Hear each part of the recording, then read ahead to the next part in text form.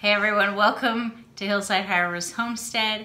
Today we are making mozzarella cheese. It is an incredibly easy recipe, only takes about a half an hour, and um, I'm going to make a big batch because that's the size that we can make. Um, we use a little more mozzarella in our family. Um, we have a family of six. So um, feel free to make less if you want, um, but like I said, we've got a big family and we've got a milk cow, so we've got plenty of milk. So I'm actually going to put two gallons of milk into the mozzarella today. The kind of milk that you want to use, it can be skim. The more fat you have, the better for making cheese. So skim is probably not the best that you want to, I mean, you can. You can make cheese from skim milk. 1%, um, 2% whole it doesn't matter. It can be pasteurized. Um, my milk is raw, so I prefer it that way. Um, but you can make cheese with pasteurized milk. You cannot make cheese with ultra pasteurized milk though. So if you're not able to um, get a hold of fresh milk from a farm, um, or you don't have fresh milk of your own, you can use milk from the grocery store that is pasteurized. Um, just make sure you don't get the milk that says ultra pasteurized. Okay, so mozzarella cheese does not take a whole lot of ingredients. Um, we have citric acid, and since I'm using two gallons of milk, um, the amount of citric acid that you want is three teaspoons. So obviously if you're only using one gallon of milk, it would be one and a half teaspoons of citric acid. Citric acid can be found in a grocery store. Um, it can be found in some hardware stores where they have canning supplies. Um, so anywhere that you're going to have canning supplies, they do have citric acid. They're little bottles of citric acid. Or you can order your stuff from a cheese supply company. Um, I order mine from a cheese supply company just because I also have to order other things like rennet. Um, so I might as well just, you know, do one stop shop. Okay, so for two gallons of milk, what I'm using today, three teaspoons of citric acid. Uh, the citric acid is what gives the um, mozzarella the stretch to it. Okay, rennet, um, there are different kinds of rennet. I do use animal rennet. Um, I believe that you can use vegetable rennet as well. Um, so for two gallons of milk, I use half a teaspoon of rennet. Um, again, if you only want to do one gallon, it would be a quarter of a teaspoon of rennet, okay? And then I use three teaspoons of um, salt. You can use cheese salt. Um, I use kosher salt. What you're going to do with your citric acid is you're going, for three teaspoons, for the two gallons, you're gonna use two cups of water. And it's gonna be cool water, so you don't want it lukewarm, you don't want it hot just cool water. And you want to mix it until um, the citric acid is all dissolved. And then for your half a teaspoon of rennet, you're to use half a cup of water, of cool water. So again, if you're only using one gallon of milk, you're going to cut that in half. It'll be a quarter of a teaspoon of rennet and a quarter cup of cool water. Okay, and our salt stays as salt. Um, the other things that you need, you need some sort of slotted spoon. I have a cheese spoon for myself.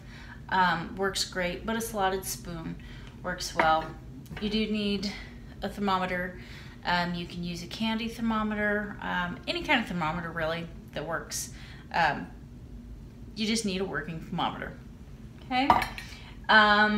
You can use molds. You don't have to use molds. Um, you can just simply um, keep your mozzarella in a ball and then just wrap it like in some saran wrap um, to hold its shape. I do use molds. Um, so, and then you just need one pot for hot water in and you need one pot to be able to put your milk together. Okay, so we'll move to the stove. I will go ahead and add my two cups of water to my three teaspoons of citric acid and then I will get my rennet ready. I don't need it right now, but I will get it ready. Half a teaspoon with a half a cup of cool water.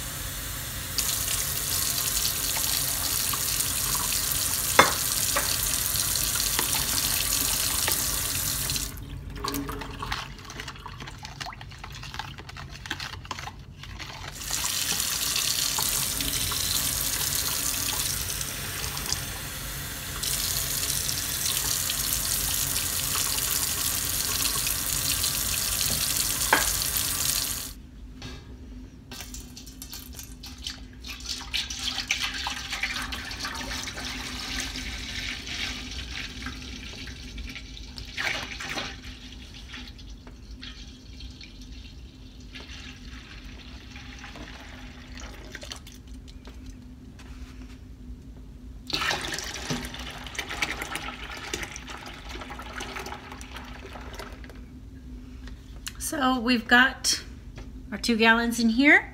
I'm gonna go ahead and turn the heat on and I go ahead and leave it on high. For my stove, that's okay. Um, you're welcome to do a water bath where you have another um, pot underneath your milking pot um, with water in it so you can warm it up that way. Um, or you can do medium heat, you know, it doesn't matter. Um, for this, it has turned out just fine with it being on high. It's not gonna be on there real long. So uh, we're taking the citric acid and we are gonna go ahead and pour it in.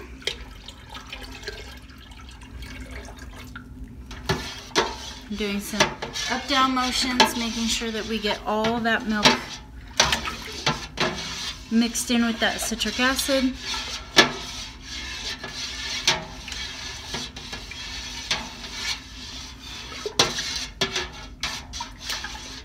All right, so now we get to play the waiting game.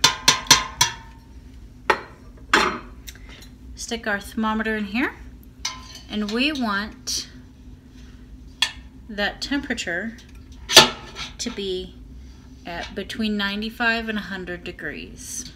So when it gets about 95, we're going to take this um, off of the heat and we'll cover the milk up and let it sit for a little bit. But for now, we're to just wait for it to get between 95 and 100 degrees.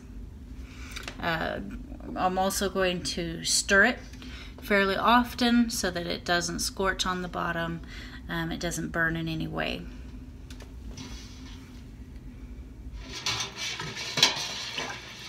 All right, so here we are, reaching 100 degree markers. So I am going to scoot this puppy off of the heater. And at this point, this is where we add the cool rennet. I've got my rennet. It's off the heat. So that was half a teaspoon for half a cup for two gallons. And I'm gonna stir it in slowly.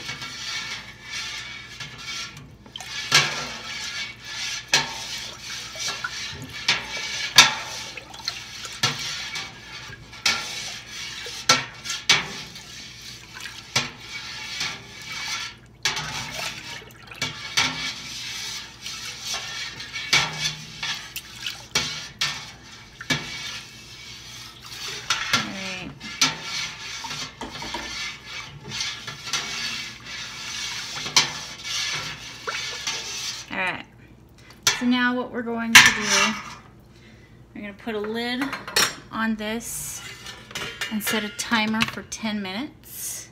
And just let it sit for 10 minutes. And at the same time, I have another pot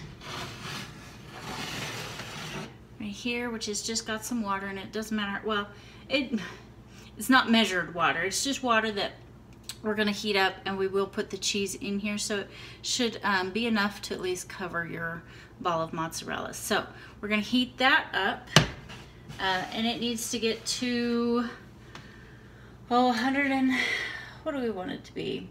About 170 degrees.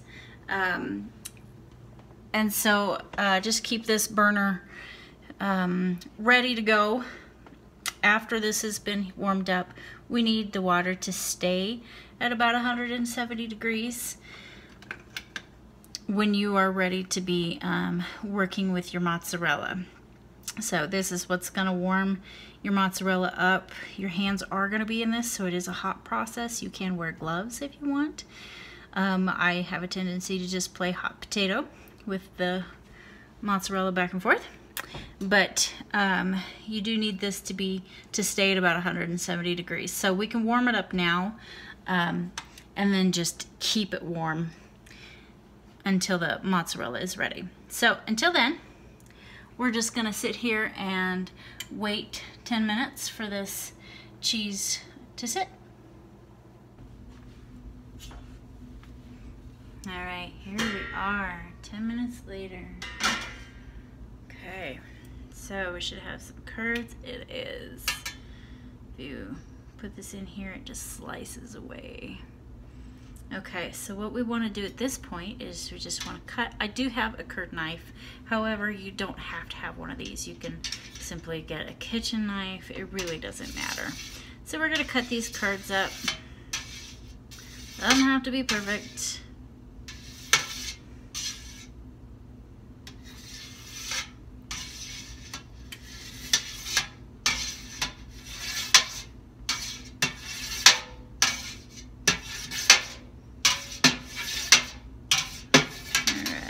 Um, again.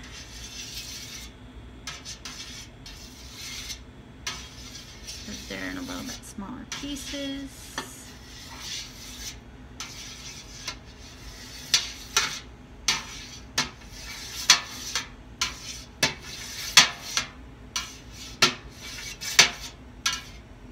All right. Okay. Now our water is warmed up as we need it to be. So we're gonna put this, our curds, back onto this stove. And we're gonna warm it up. Okay. We are going to warm it up while we stir it to 115 degrees.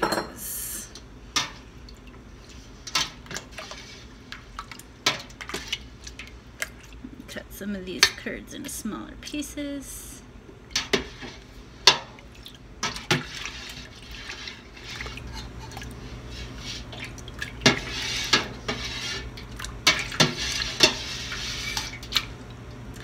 as it gets warmer, it's going to start um, sticking to itself. These curds are going to start sticking to each other, and that's what we want.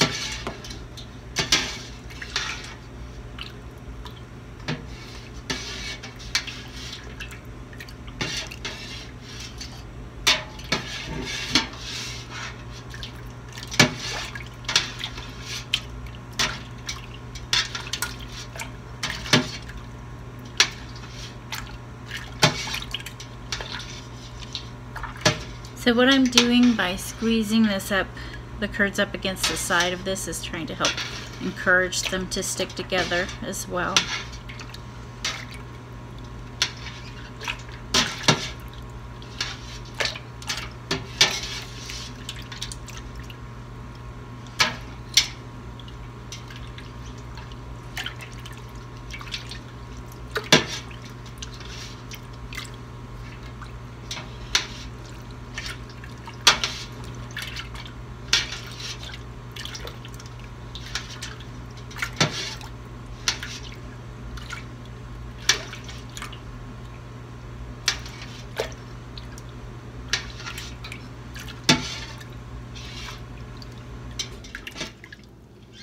at this point, I'm going to go ahead and just dump this in the sink. I've got a colander that I'm going to um, go ahead and pour all of this through and drain the whey.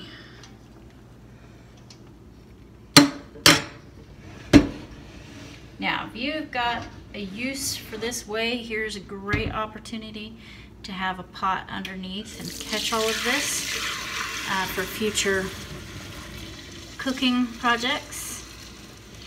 I don't have a use for it right now, so I'm okay with draining it at this point.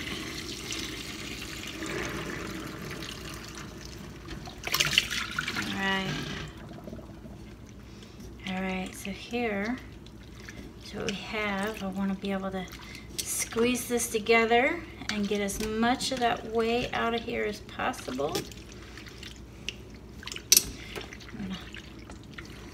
Squish it together, help it bind.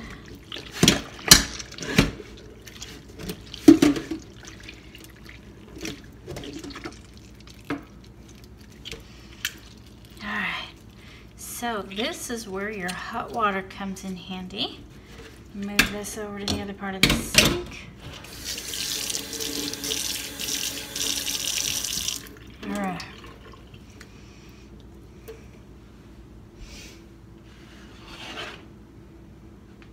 I stick my hands in here though, I want to see what temperature it is. So maybe a little hotter than I want, which means I'm just gonna have to act quick. Or it might have cooled down. Hmm. All right, it has cooled down and that's okay for now. So what I'm gonna do, I'm gonna go ahead and use it. It's about 150 degrees right now and that's okay. So I'm gonna go ahead and put this in my water. It is still hot though.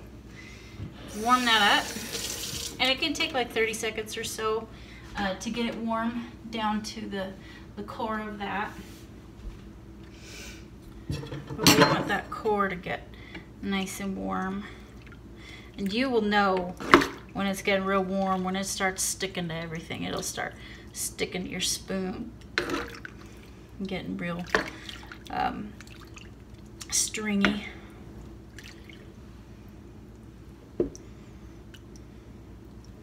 I've got my salt ready right here.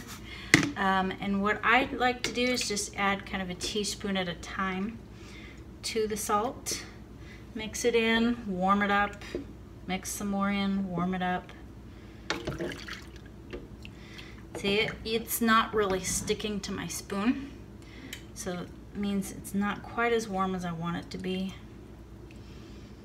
While I play with this, I'm gonna add some salt to it. But while I do that, I'm gonna warm this, my water, back up on the stove. Get it warm again. All right. And I'm just gonna play with my mozzarella. Put some salt on it. Fold it in. You want to make sure that that salt gets nice and um, mixed in. Uh, if your cheese is not warm enough and that salt doesn't get mixed in real well, you will notice like little chunks, it looks like of hard cheese. That's actually your salt. So, and it is not stretching real well and the reason for that is because it's kind of cool it needs to be warmer. The warmer it is, the better it's gonna stretch for us.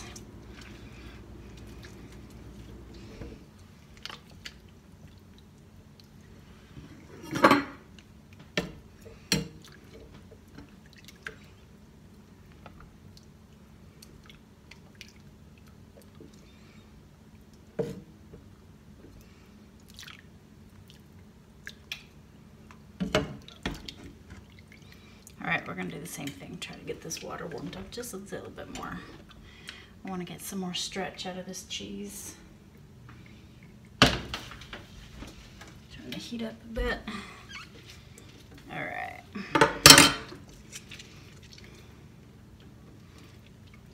The salt can be either more than three teaspoons or less.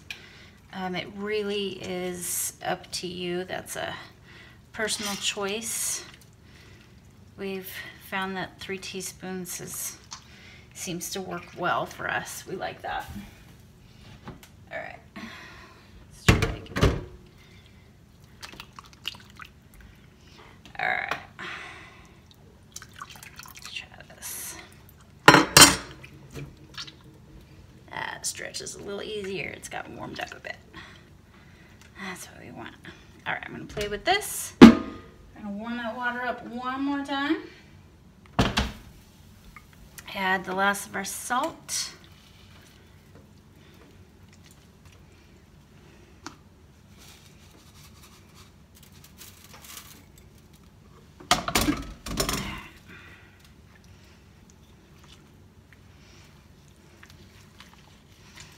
Start working it in.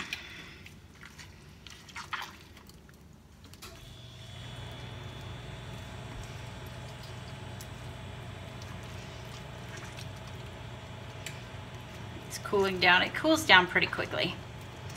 So, warm that up. Get that warmed up so we can get all that salt dissolved in there. Some people I have seen put salt in the water and don't actually add salt to the cheese, but they put the salt in the water. And so when they do this with it, um, the salt is supposed to get into the cheese. However, I, I did do it that way and I did not taste any of the salt in the cheese at all. So I feel like we had more chance of tasting some of that salt in there with, you know, having more flavor to your mozzarella um, with just adding the salt directly to your cheese. Whew, hot, hot, hot.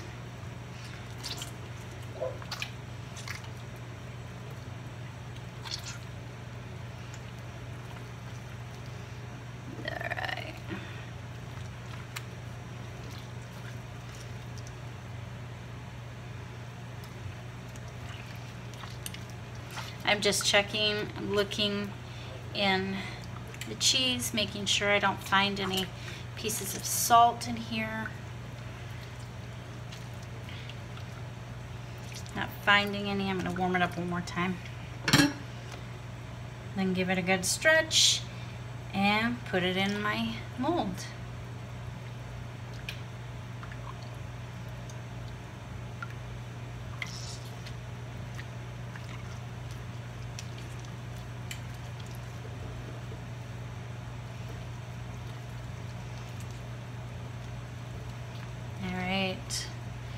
I'm going to cut this in half. I'm going to put it in two molds because it's going to overflow in one mold. So.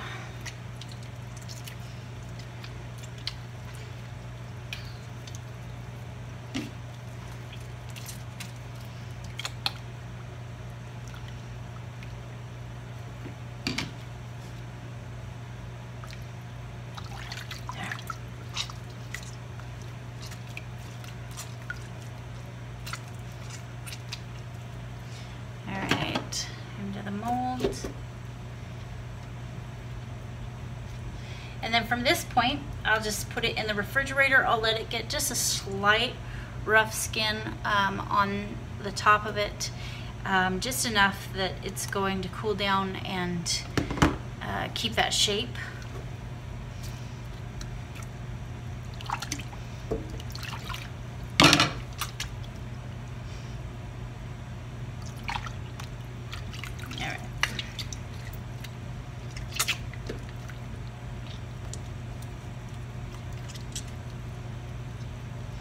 That's it. That's your beautiful mozzarella. I wish you could see it better. The light isn't great here and I apologize for that. But isn't that pretty?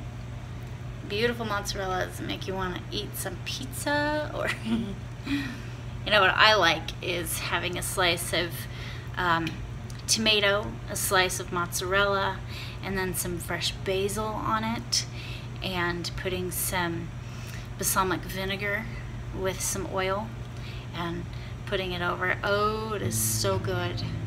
And there is your mozzarella. Easy as that. Well, thanks for joining us here today at Hillside Harvest Homestead. I hope that that has encouraged you today to be able to go make your own mozzarella. It really is easy, it's quick, it's simple, and the mozzarella is awesome. It's absolutely great. Um, so go try it and have fun and enjoy it. Hope that you guys have a wonderful day. We'll see you next time.